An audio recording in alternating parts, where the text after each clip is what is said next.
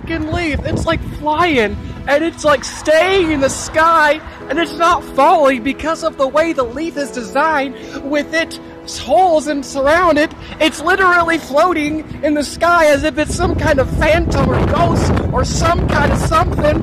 I mean, look at that. It's crazy. It's twirling. It's never going to fall. It's going to be staying in the sky probably for a long, long time until the wind calms down. And it's just going to keep on going and flying until it has to stop. When it stops.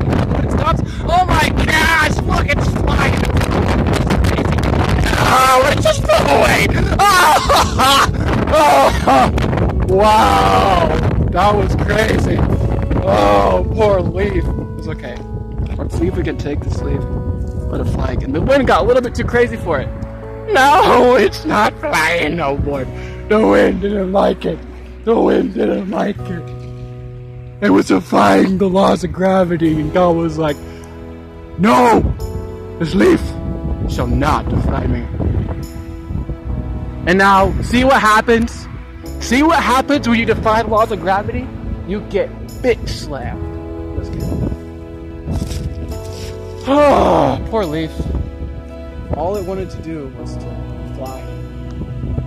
And it was floating, and it really was. It was floating. It was doing everything a leaf has always wanted to do, and it was happy too. You could see it on his face. Leaves have faces. And then what happens next? A huge gust of wind comes, and it just like, screw that! You ain't flying, son! No more. And what had happened? The wind was so strong, it broke the leaf. It broke its spirit, and now it's just gone. It's the philosophy for life. Sometimes you think you can be flying, and you're flying. Then you get too much. You get irresponsible.